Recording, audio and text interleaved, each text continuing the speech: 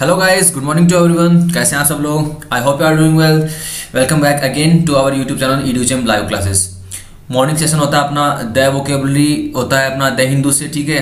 उसमें कुछ अच्छे वर्ड्स लेके आता हूँ आपके लिए। आपके लिए सेशन बहुत हेल्पफुल होगा, क्योंकि इंपॉर्टेंट वर्ड्स हैं वोकेबलरी है, और एक तरह से वोकेबलरी बिल्डिंग ब्लॉक है इंग्लिश को इम्प्रूव करने के लिए। ठीक है तो आज का डिस्कशन में स्टार्ट करते हैं। जिस भी एग्ज़ाम की आप प्रिपरेशन कर रहे हैं, उसके लिए आप में, उसके लिए आपको ये हेल्प होगा हेल्पफुल होगा, क्योंकि इंग्लिश कॉम्प्रिहेंसिन या फिर वोकेबलरी जो आपके एंटोनिम सिनोनिम है आपके वन वर्ड सब्सटीट्यूशन है, वो किसी न किसी एग्ज़ाम में आपको देखने को मिलते हैं।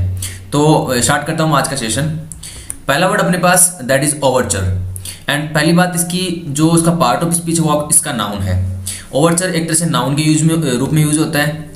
अब ओवरचर का मतलब कैसे होता है? देखो something that serve as a preceding event और introduce what follows that means कि आपको पता है कि मान लो पहले की कोई घटना हुई थी, उसको देख के आप अनुमान लगाते हो कि अब आगे क्या होगा तो उसको बोलते हैं ओवरचर या फिर एडवांस अप्रोच प्रील्यूड या प्रिलिमिनरी यानी पहले का कोई आपके पास इंसिडेंस होता है, पहले की कोई घटना होती है, उसको सोच समझ के आप बताते हैं कि आगे क्या होगा तो पहले की घटना को बोलते हैं ओवरचर और आपका क्या है पहली बात? या नाउन है। ठीक है? देखो इसके सिनोनिम आपके पास क्या है? एडवांस आपके पास अप्रोच फिर आपका प्रील्यूड अच्छा वर्ड है प्रील्यूड मतलब पहले का।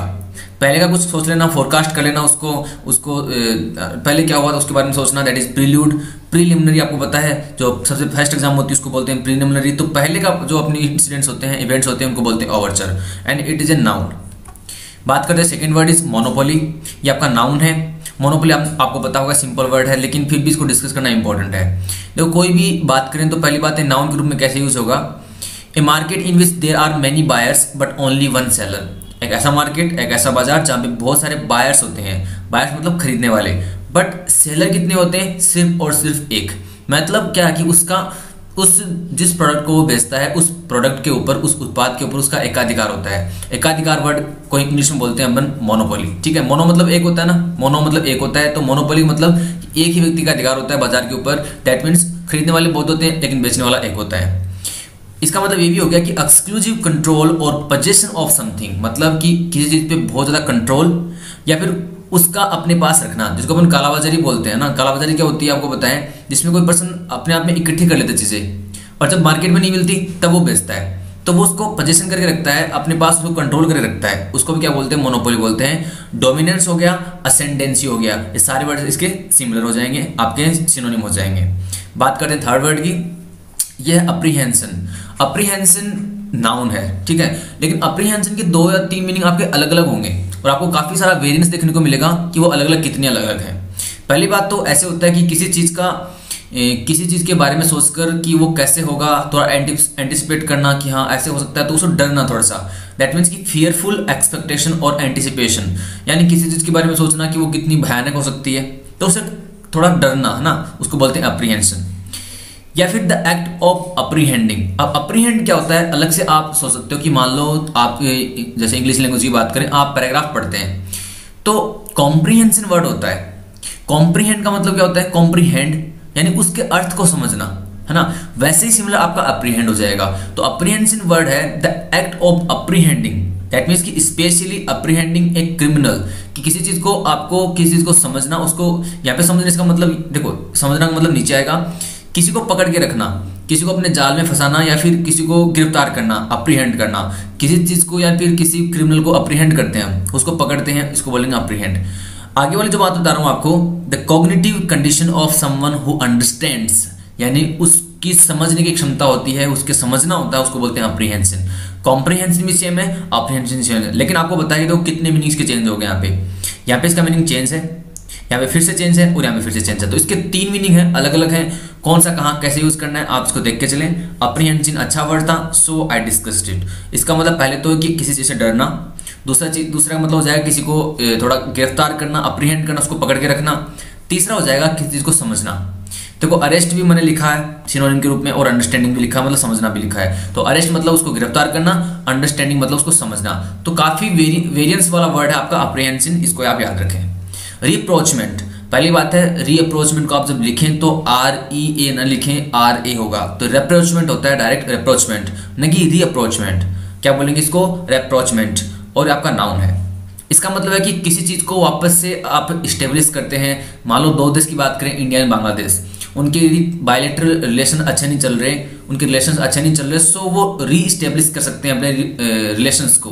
जो अपना कोर्डियल रिलेशंस होते हैं, आपके जो अच्छे संबंध होते हैं, उनको आप फिर से अच्छा बना सकते हो। ठीक है तो उनको री स्टेब्लिश करना अप्रोचमेंट ठीक है? या फिर समझौता रिकन्सिलियेशन होता है, जैसे कोई मनमुटाव हो तो समझौता हो जाएगा अग्रीमेंट हो जाएगा। So reconciliation is a part of approachment ठीक है? एंड इट्स ए नाउन बात करते हैं, आगे अपने ईडियम है throw a spanner in the works that means कि किसी भी काम के बीच में स्पेनर होता है। वो स्पेनर एक वर्ड होता है, एक तरह से आप बोल सकते हो कि कोई जैसे हैमर होता है ना अथोड़ा वैसे स्पेनर भी होता है है ना? वैसे कोई इंस्ट्रूमेंट भी होता है स्पेनर तो किसी काम के बीच में अथोड़ा फेंकना मतलब कि काम को नहीं होने देना।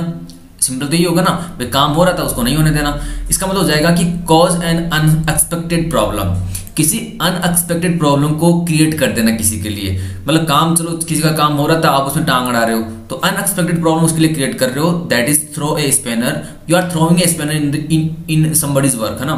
या फिर डिलेमा डिलेमा अच्छा वर्ड है। डिलेमा का मतलब होता है किसी को कन्फ्यूज़ कर देना, बहुत ज़्यादा कन्फ्यूज़न में होना मतलब कि वो समझ में नहीं आना कि वो क्या करे। या फिर ऑब्स्टेकल यानी उसको उसको परेशानी में डाल देना। कहने का मतलब कि किसी व्यक्ति को उसको परेशान करना, उसको कंफ्यूज कर देना, उसको परेशानी में डालना इसका मतलब हो जाएगा you are you are throwing a spanner in someone's works ठीक है? बात करते हैं नेक्स्ट वर्ड की, ये आपका है अपार्थेड क्या बोलेंगे इसको? अपेर्थेड बोलेंगे इसको. इसका नाउन पार्ट ऑफ़ स्पीच क्या? नाउन है. अपार्थेड आप ऐसे याद कर सकते हो कि, देखो, इसमें एक वर्ड आ रहा है। देखो, मेरा तो सिंपल यही पढ़ाने का तरीका यही है कि आपको वर्ड्स को ब्रेक करना आना चाहिए। मैं इसमें देख रहा हूँ कहीं ना कहीं अपार्ट लिखा हुआ है। अपार्ट का मैं सोचता हूँ कि अपार्ट का मतलब होता है अलग अलग करना। दैट मीन्स कि किसी पर्सन को अलग किया जाएगा उसकी कम्युनिटी से। बिल्कुल, एक ऐसी नीति जिसके कारण से आप किसी पर्सन को उसके रंग के कारण दैट मीन्स कि आप उसके, जैसे बोलते हैं ना कि ये मतलब कि ये ब्लैक है ब्लैक पर्सन है या फिर वाइट है तो उसको उसके रंग के आधार पर अलग कर देना, उसको बोला जाएगा अपार्थेड एक तरह से नीति। यानी रंग भेद नीति बोलते हैं अपार्थेड को। That means a social policy और racial segregation involving political and economic and legal discrimination against people who are not whites, the former official policy in South Africa. जो लोग वाइट नहीं है दैट मीन्स कि मतलब कि brown हो सकते हैं, आपके ब्लैक हो सकते हैं। उनको कहीं ना कहीं अपनी एक तरह से political and economic and legal discriminate करना, उसको, उनको अलग अलग रखना अलग अलग सोचना कि यार ये तो बिल्कुल अलग हैं ब्लैक पीपुल हैं, पता नहीं कैसे हैं, अभी इम्प्योर हो सकते हैं। तो ऐसी कोई नीति होती है सोशल पॉलिसी होती है, उसको बोलते हैं अपार्थाइड की नीति, ठीक है? आपने इसको बारे में पढ़ा भी होगा। और देखो यहाँ पे साफ़ लिखा हुआ है the formal policy official policy in South Africa आपको पता साउथ अफ्रीका में ब्लैक पर्सन भी हैं और व्हाइट भी हैं। व्हाइट जो पर्सन है साउथ अफ्रीका में, वो कॉलोनीज है। जैसे ब्रिटेन की कॉलोनीज थी, पहले इंडिया में भी थी तो वो वहाँ पे जाके बसे हुए हैं। एक्चुअल में साउथ अफ्रीका के पर्सन ब्लैक ही हैं। तो वहाँ पे जो व्हाइट लोग गए, उन्होंने साउथ अफ्रीका को जो ब्लैक पर्सन थे, उनको रंग भेद की नीति का शिकार बनाया। तो एक ऑफिशियल पॉलिसी चलती थी पहले। जब आपका साउथ अफ्रीका आपका गुलाम था उस टाइम ऑफिशियल पॉलिसी चलती थी अपार्थेड की, उनको अलग समझा जाता था बिकॉज़ देवर ब्लैक पर्सन है ना? अब तो वो अब डेमोक्रेसी होगी मोस्टली जगह पे तो ऐसा नहीं है, लेकिन पहले ऐसा था। और अभी भी कई जगह ऐसा देखा भी जाता है। सली अच्छा वर्ड सली, पहली बात है वर्ब है। किसी को किसी को मतलब कि किसी की मतलब कि मतलब फेम होती है उसकी प्रसिद्धि होती है। परिस्थिति को तार तार कर देना है उस पर दाग दाग या धब्बा लगाना, है ना? लाछन लगाना, स्टिग्मा, लाछन को बोलते हैं, स्टिग्मा बोलते हैं। सो प्लेस अंडर सस्पिशन और कास्ट डाउट अपॉन किसी को संदेह के घेरे में रखना या फिर उसको, उसके ऊपर डाउट्स देखना कि यार ये तो सही नहीं काम कर रहा, ऐसे। मैक डर्टी और स्पॉटी किसी चीज़ को डर्टी कर देना, उसको स्पॉटी यानी धब्बेदार कर देना। As by exposure to air मतलब कि आप किसी भी तरीके से कर सकते हैं। Also use metaphorically that means कि इस चीज़ को अपन व्यंग्य के रूप में भी यूज़ कर सकते हैं ना। मेटाफोर की मेटाफोर का मतलब होता है कि थोड़ा सा व्यंग्य प्रयास करना या फिर इसको अपन बोलते हैं सार्केजम करना ना। सो चार्ज फाल्सली और विद मेलिसियस इंटेंट किसी पर्सन पे फॉल्स चार्ज लगा देना उस पर आरोप लगा देना। मेलिसियस होता है जिसका इन, जिसकी प्रवृत्ति अच्छी नहीं होती। मेलिसियस नेगेटिव वर्ड है मेलिसियस इंटेंट यानी कुप्रवृत्ति से किसी पर फॉल्स चार्ज लगा देना इस sully attack the good name and reputation of someone किसी की रेपुटेशन पे, किसी के इज़्ज़त पे।